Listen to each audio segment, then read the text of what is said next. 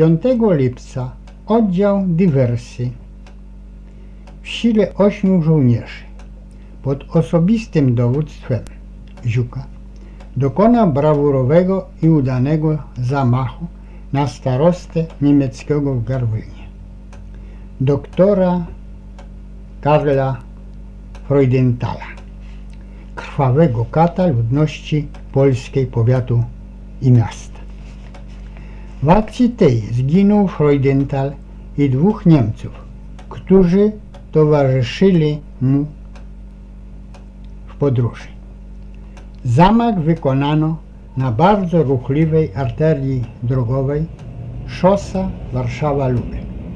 23 km na północ od Garwolina.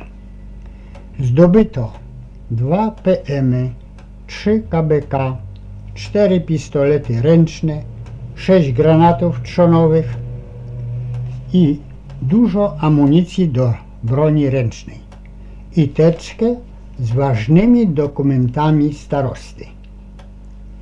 Straty własne. Szczelec Szczupak Kazimierz Wielgosz doznał nieuleczalnego szoku nerwowego. Za przeprowadzenie tej akcji otrzymałem odznaczenie Krzyża Virtuti Militari piątej klasy.